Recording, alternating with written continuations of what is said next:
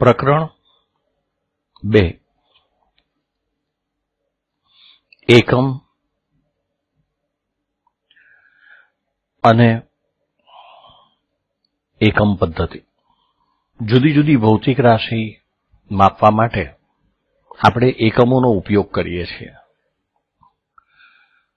ઉદાહરણ તરીકે લંબાઈ માપવી હોય તો આપણે કહીએ કે લંબાઈ મીટરમાં મપાય. અથવા સેન્ટીમીટરમાં મપાય. દળ માપવું હોય તો કિલોગ્રામ, ગ્રામ આવા એકમોમાં મપાય. તો આ જે ભૌતિક રાશિનું માપ છે, તેને જ એકમ કહેવાય. તો એકમ એટલે જેને આપણે ઇંગ્લિશમાં કહીશું યુનિટ. ભૌતિક રાશિના પ્રમાણભૂત. માપને એકમ કહે છે.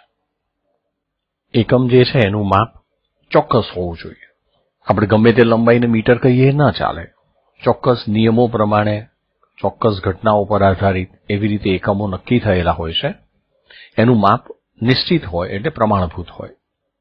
તો ભૌતિક રાશિના પ્રમાણભૂત માપને એકમ કહે છે. હવે આ એકમ કેવો હોવો જોઈએ? આ એક પ્રશ્ન છે. એક તો એકમનું માપ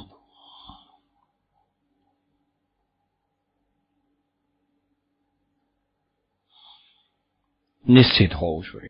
એમાં કોઈ પણ પ્રકારની ત્રુટિ ના હોવી જોઈએ અથવા દ્વિધા ના હોવી જોઈએ. દરેક વ્યક્તિ એ જ માપને એકમ તરીકે સ્વીકારે, એ જરૂરી છે.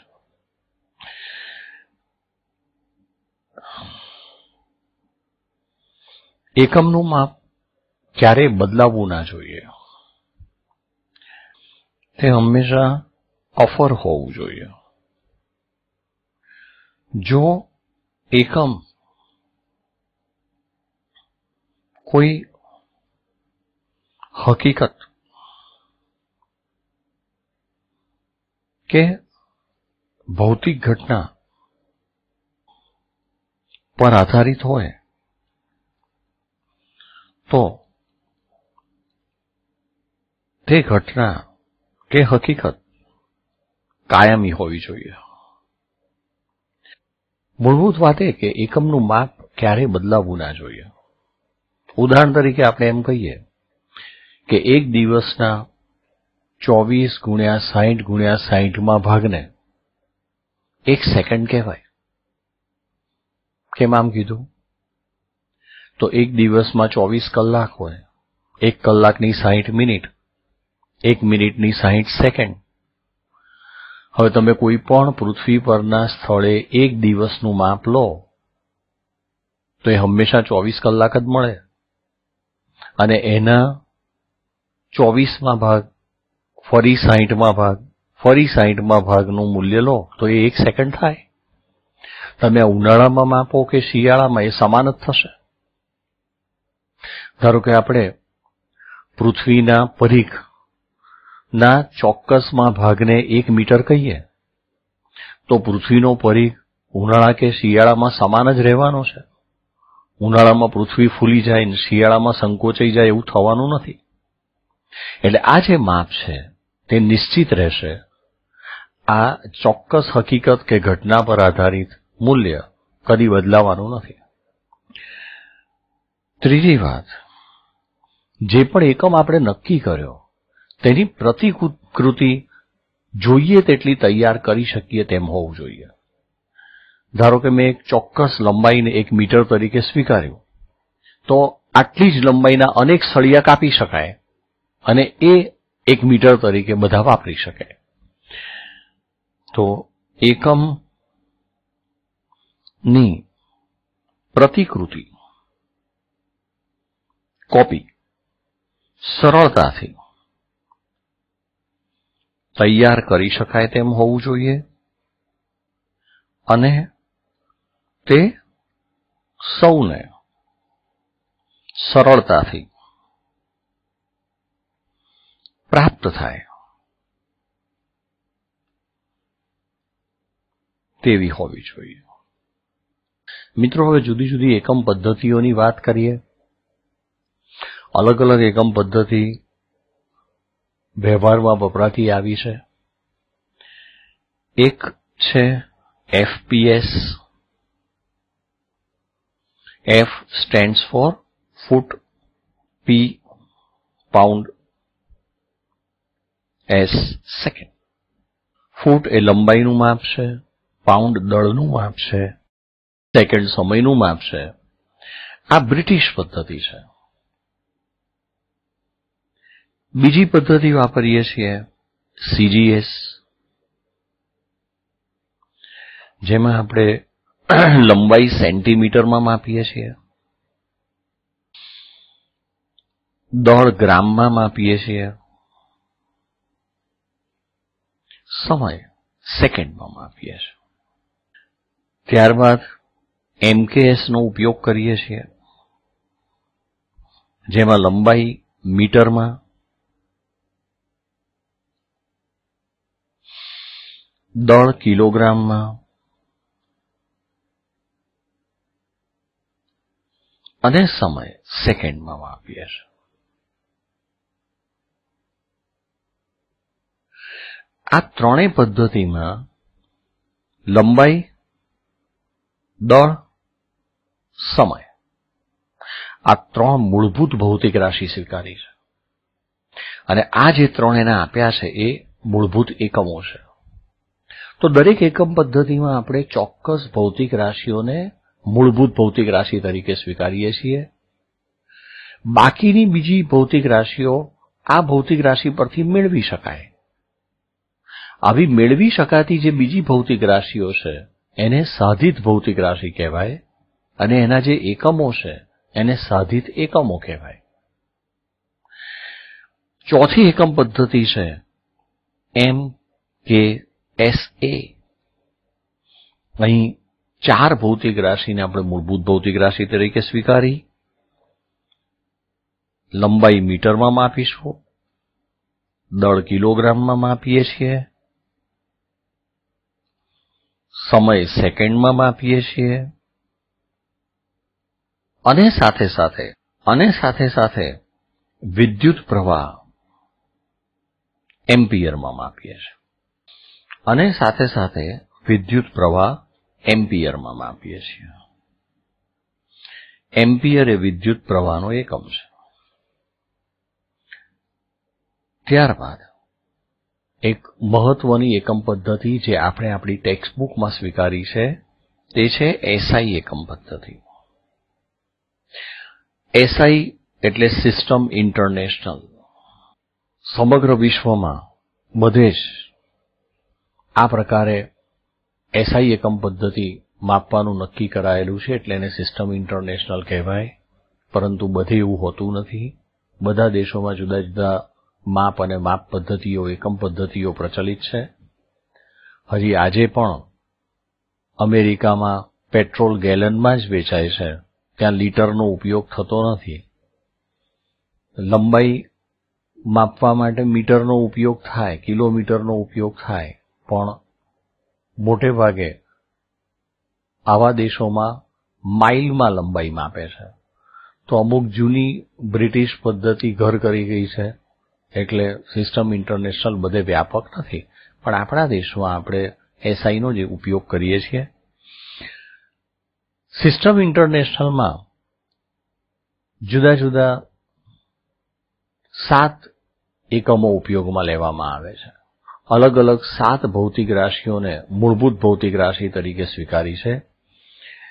આ સાત ભૌતિક રાશિ એક છે લંબાઈ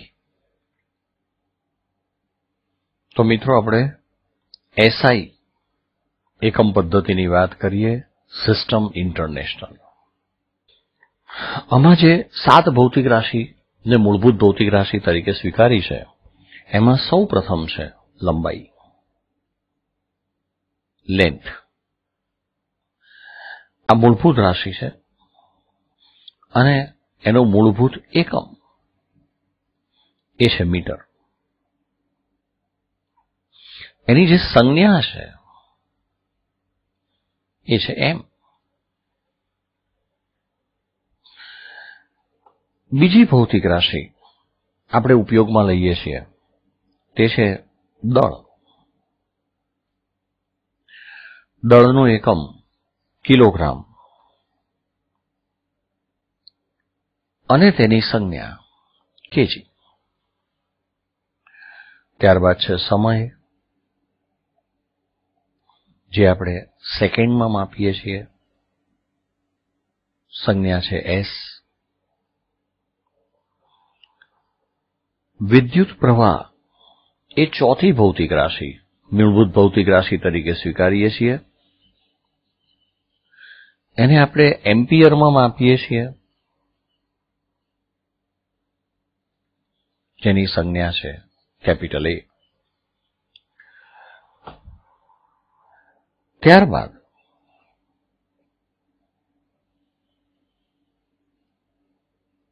થર્મોડાયનેમિક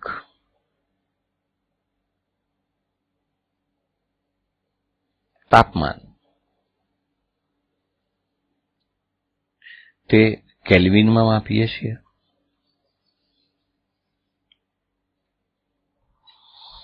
અને એની સંજ્ઞા છે કે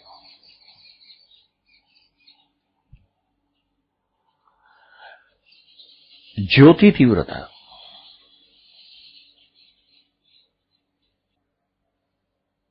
એ આપણે કેન્ડેલામાં માપીએ છીએ.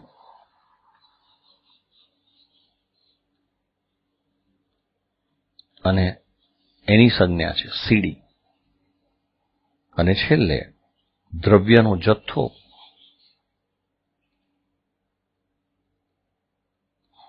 તે મોલમાં માપીએ છીએ. એની સંજ્ઞા છે એમઓએલ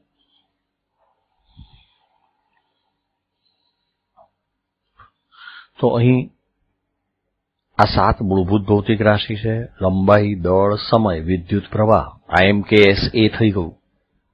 ઉપરાંત થર્મોડાયનેમિક તાપમાન, જ્યોતિ તીવ્રતા અને દ્રવ્યનો જથ્થો.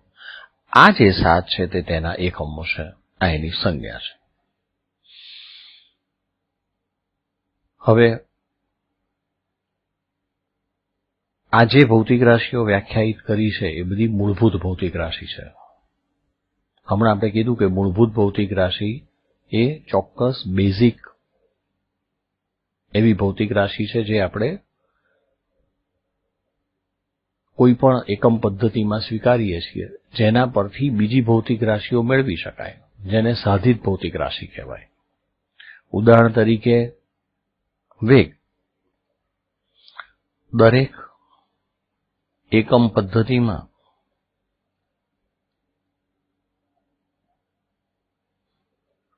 કેટલીક ભૌતિક રાશિ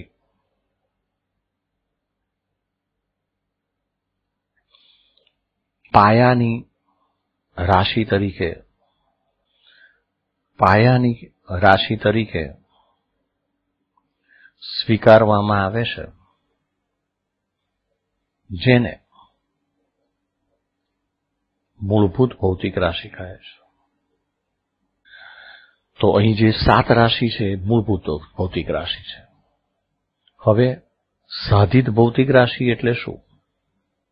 તો મૂળભૂત ભૌતિક રાશિ પરથી મેળવી શકાતી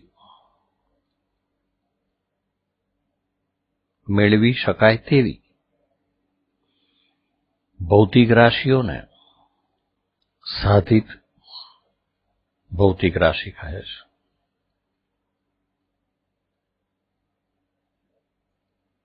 અને એના જે એકમો હોય, એને સાધિત એકમો કહેવાય. આ રાશિના એકમને સાધિત એકમ કહે છે. એટલે ઉદાહરણ તરીકે આપણે એમ કહીએ કે વેગ એટલે સ્થાનાંતર અથવા અંતર છેદમાં સમય. તો અંતર એટલે લંબાઈ, સમય અને લંબાઈ એ બંને મૂળભૂત રાશિ છે. તેના પરથી વેગ મેળવ્યો એટલે વેગ એ સાધિત ભૌતિક રાશિ કહેવાય. હવે અંતર આપણે માપીએ મીટરમાં અને સમય માપીએ સેકન્ડમાં. મીટર અને સેકન્ડ એ મૂળભૂત એકમો છે, પણ મીટર પર સેકન્ડ એ વેગનો એકમ, એ સાધિત એકમ થયો. હવે એસઆઈ એકમ પદ્ધતિમાં જ જે મૂળભૂત એકમો છે એનાથી બધે કામ ચાલતું નથી. એના પરથી મેળવી મેળવાતા એકમો એ સાધિત એકમો એ પણ બધે પૂરતા નથી. કેટલાક અગત્યના એકમો આપણે વધારાના સ્વીકારવા પડે છે. એમાંથી કેટલાક વધારાના એકમો અને ભૌતિક રાશિ આપણે સ્વીકારવી પડે છે. આમાંની બે ભૌતિક રાશિ જે આપણે સ્વીકારેલી છે, તેને આપણે સપ્લિમેન્ટરી એકમ તરીકે, વધારાના એકમ તરીકે સ્વીકારીએ છીએ. આમાંનું એક વધારાનો એકમ છે, વધારાની ભૌતિક રાશિ છે. એ છે સમતલમાં કોણ?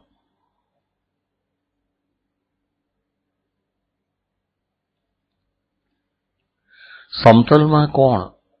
એ આપણે રેડિયનમાં માપીએ છીએ. જેની સંજ્ઞા તરીકે તમે આરએડી લખી શકો.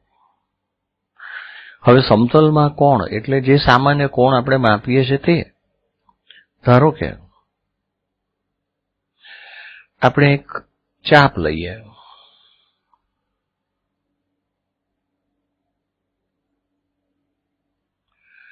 આ ચાપની લંબાઈ છે એસ એની જે વક્રતા ત્રિજ્યા છે, તે આર છે. અને આ ચાપ વડે અહીં કેન્દ્રમાં રચાતો કોણ થીટા છે? આ થયો સમતલમાં કોણ? આ સમતલમાં જે કોણ છે, એનું માપ થીટા, તે રેડિયનમાં મપાય. જે મેળવી શકાય આ રીતે. એસ અપોન આર એટલે કે ચાપ ભાગ્યા ત્રિજ્યા. આ કોણનું માપ આપે છે. હવે તમે જુઓ તો ચાપની લંબાઈ એ મીટરમાં મપાય, ત્રિજ્યા પણ મીટરમાં મપાય. મીટર અને મીટર તો કેન્સલ થઈ જાય. તો મૂળભૂત એકમો વડે આ એકમ મેળવી શકાય એમ નથી. અને માટે આપણે એક વધારાનો એકમ વ્યાખ્યાયિત કરવો પડ્યો રેડિયન, જે સમતલમાં કોણ માટેનો એકમ છે. એટલે આ ભૌતિક રાશિ એ વધારાની ભૌતિક રાશિ છે, આ એકમ એનો વધારાનો એકમ છે રેડિયન. હવે જો તમે લાંબામાં લાંબો ચાપ લો, તો લાંબામાં લાંબો ચાપ એટલે તો આખું વર્તુળ થાય. આ સમગ્ર વર્તુળ વડે અહીં રચાતો જે મહત્તમ કોણ થાય તે તમે કહેશો ત્રણસો સાહીઠ અંશ. પણ રેડિયનમાં એ લેવાય ટુ પાઈ રેડિયન. તો જે મહત્તમ કોણ અહીં રચાય, એ આપણે ટુ પાઈ રેડિયન લઈએ છીએ. જો હું થીટા ટુ પાઈ રેડિયન લઉં, તો આ મહત્તમ ચાપની લંબાઈ કેટલી મળી જુઓ? Two pi r. આ થયું પરિઘનું સૂત્ર. તો વર્તુળના પરિઘનું સૂત્ર ટુ પાઈ આર આ બેઝિક ઇક્વેશન પરથી આવેલું છે કે ચાપ વડે કેન્દ્ર આગળ રચાતો કોણ રેડિયનમાં થીટા તરીકે લો, ચાપની વક્રતા ત્રિજ્યા આર હોય તો આ ખૂણો એસ અપોન આર થાય. મહત્તમ કોણ તે ટુ પાઈ રેડિયન લેવાય, તો મહત્તમ ચાપની લંબાઈ એટલે કે સમગ્ર પરિઘ એ તમને ટુ પાઈ આર આ સૂત્ર પરથી મળે. તો એ મિત્રો તમે આ યાદ રાખજો કે ત્રણસો સાહીઠ અંશ ઇઝ ઇક્વિવેલન્ટ સમતુલ્ય છે ટુ પાઈ રેડિયન એટલે સ્વાભાવિક છે કે એકસો એસી અંશ એટલે પાઈ રેડિયન થાય. એકસો એસી અંશે પાઈ રેડિયન થાય તો કોઈ પણ થીટા અંશ કેટલા રેડિયન થાય? તો આ ત્રિરાશી પ્રમાણે તમે કહી શકો કે આ થશે theta into pi upon one eighty એટલે જો તમારી પાસે કોઈ માપ અંશમાં હોય, એને તમારે રેડિયનમાં ફેરવવું હોય, તો તેને પાઈ અપોન વન એટી વડે ગુણી નાખો. અંશને રેડિયનમાં ફેરવવા પાઈ અપોન વન એટી વડે ગુણો. એટલે જો થીટા સે નાઇન્ટી ડિગ્રી હોય, તો ninety into pi upon one eighty કરો. તો આ થઈ જશે પાઈ બાય ટુ આ રેડિયનમાં માપ થયું. તો નેવું અંશ એટલે પાઈ બાય ટુ રેડિયન થાય. એવી રીતે પિસ્તાલીસ અંશ, એટલે પાઈ બાય ફોર રેડિયન થાય. સાહીઠ અંશ. આ તમે સાહીઠ લો. છતરી અઢાર. તો આ થશે પાઈ બાય થ્રી રેડિયન અને ત્રીસ અંશ. થર્ટી લઈ લો. છતરી અઢાર પાઈ બાય સિક્સ રેડિયન. તો હવે પછી ઇવન મેથેમેટિક્સમાં પણ તમારે થીટા કદાચ ક્યારેક ડિગ્રીમાં ના પણ આવે, ત્યાં તમે સાઇન સિક્સટી બોલતા હતા, એને બદલે સાઇન પાઈ બાય થ્રી બોલવાનું થાય સાઇન થર્ટી બોલતા હતા, એને બદલે સાઇન પાઈ બાય સિક્સ બોલવાનું થાય. એનો અર્થ આ છે એવું ધ્યાનમાં રાખવાનું.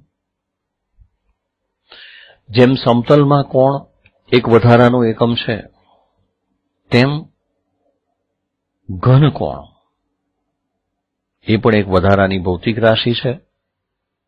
આ ઘનકોણ નો એકમ છે, સ્ટીરેડિયન.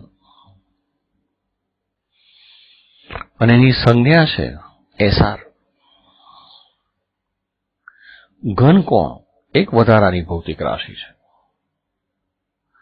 હવે આ ઘનકોણ એ ખરેખર શું છે? તો તમે આવું વિચારો. અહીં મેં એક કોન બનાવેલો છે. આ કાગળને વાળીને આ કોન બનાવેલો છે. આ કોનની અંદર તમે જુઓ. તો આ કોનમાં જે ત્રિપારિમાણિક ખૂણો રચાય છે. આ શંકુ આકારની આખી સપાટી વડે અહીંયા જે ત્રિપારિમાણિક કોણ રચાય છે, એ ત્રિપારિમાણિક કોણને ઘન કોણ કહેવાય. હવે આ એક ગોળાકાર સપાટી છે એવું તમે વિચારો. એક મોટો ગોળો વિચારો. અને આ મોટા ગોળાનો એક નાનો ભાગ લઈએ. જો આકૃતિમાં હું એને આવી રીતે બતાવું. આ એક ગોળાકાર સપાટી છે.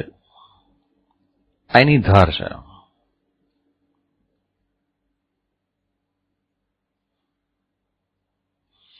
આ ગોળાકાર સપાટીની ધાર વર્તુળાકાર બતાવી છે. હવે એ જે વર્તુળાકાર ધાર છે, એના વડે ગોળાકાર સપાટીના કેન્દ્ર પર.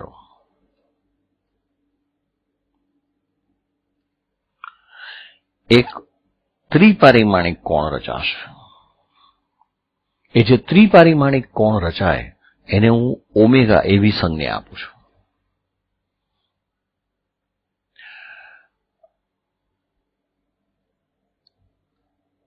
આ જે આખી ગોળાકાર સપાટી છે, એનું ક્ષેત્રફળ. તે આપણે એ વડે દર્શાવ્યું. અને એની વક્રતા ત્રિજ્યા આર લઈએ. તો આ ત્રણ વચ્ચેનો સંબંધ આવો થાય છે. ઘનકોણનું મૂલ્ય. તે વક્રાકાર સપાટી જેના વડે આ ઘનકોણ આંતરેલો છે, કેન્દ્ર પર.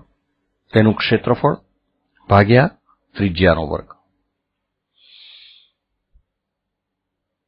હવે જો તમે આ ગોળાકાર સપાટી છે, એને વધારતા જાઓ. આ સમગ્ર ગોળાકાર સપાટીને વધારો. આખો મોટો ગોળો બને. તો આ કોણ પણ વધતો જાય. આ સમગ્ર ગોળા વડે કેન્દ્ર આગળ રચાતો મહત્તમ ઘન કોણ ફોર પાઈ સ્ટીરેડિયન લેવામાં આવે છે.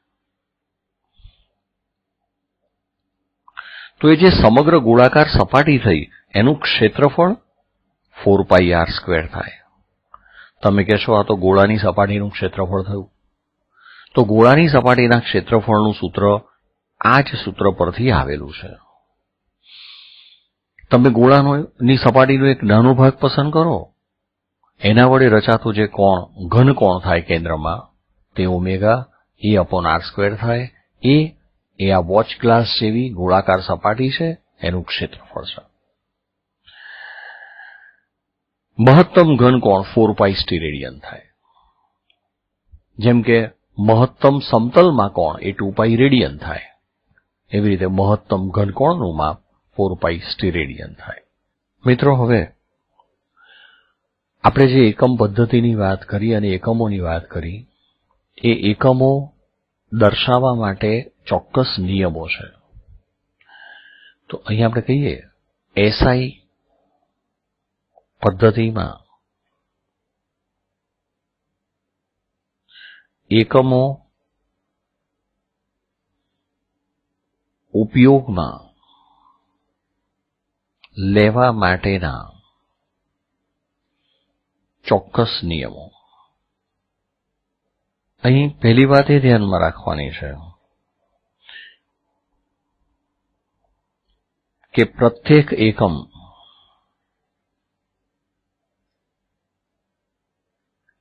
તેની નિશ્ચિત સંજ્ઞા દ્વારા જ દર્શાવાય. બહુ સાદી વાત કે તમે મીટર લખતા હો તો એમ એમ જ લખવું પડે. કે આખું મીટર લખી શકાય.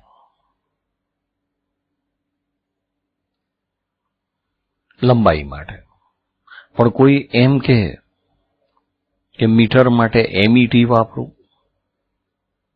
તો ના ચાલે. કોઈ એમ વિચારે કે એમઈટીઈઆર લખવું ના ચાલે. મીટર ક્યાંક તો તમે એમ વડે દર્શાવો સંજ્ઞા અથવા પૂરો એકમ એમઈટીઈઆર લોઅર કેસમાં લખો, તો આ બંને લખી શકાય. બીજું કોઈ પણ એકમ દર્શાવો ત્યારે ક્યાંય પૂર્ણ વિરામ ન કરાય. એકમમાં પૂર્ણ વિરામનો ઉપયોગ ન કરાય. તમે ક્યારે પણ એકમ લખો, ધારો કે દળ માપીએ છીએ. તમે કિલોગ્રામ પૂરું લખશો તો ચાલશે.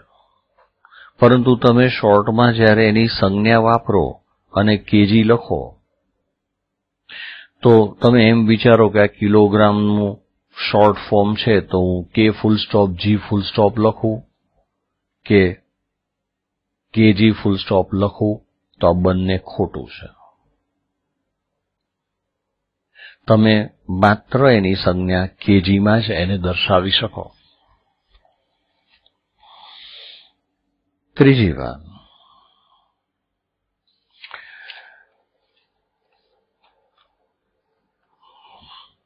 કોઈ પણ એકમમાં બહુવચનનો ઉપયોગ ના થાય. એક કરતા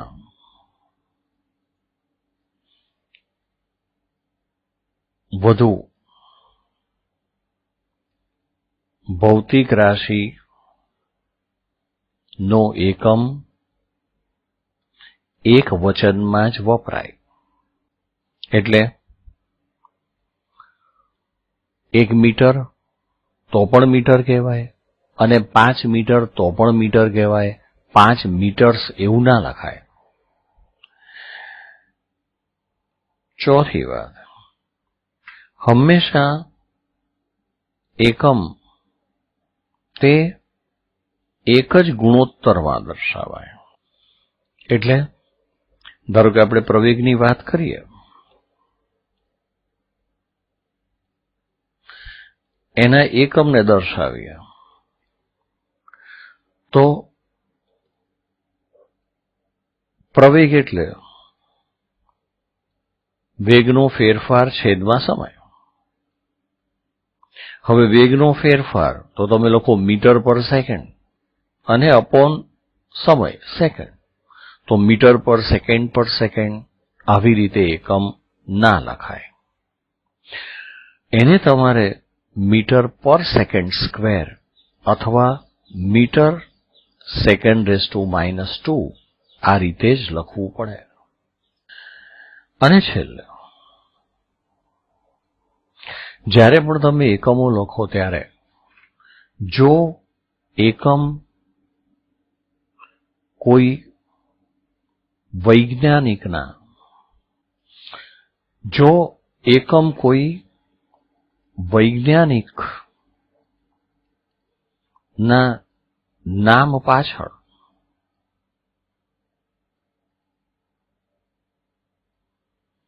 આપવામાં આવ્યો હોય તો વૈજ્ઞાનિકનું પૂરું નામ લોઅર કેસ એટલે second A B C D માં લખાય. તેની સંજ્ઞાનો ઉપયોગ કરો. તો સંજ્ઞાનો પ્રથમ લેટર, અક્ષર, તે કેપિટલ હોવો જોઈએ. ધારો કે આપણે બળના એકમની વાત કરીએ. તો તેને માટે તમે ન્યૂટન આખું નામ આમ લખી શકો. અથવા કેપિટલ એન લખી શકો. તમે દબાણના એકમની વાત કરો. તો પાસ્કલ. આખું નામ લખી શકો વૈજ્ઞાનિકનું. અથવા એની સંજ્ઞા નક્કી કરી છે કેપિટલ પી સ્મોલ એ તો આ રીતે સંજ્ઞાનો ઉપયોગ કરાય. અહીંયા વૈજ્ઞાનિકનું નામ છે, એટલે પહેલો લેટર છે કેપિટલ આવે એવું ના લખાય. એ લોઅર કેસમાં જ આખું નામ લખવું પડે.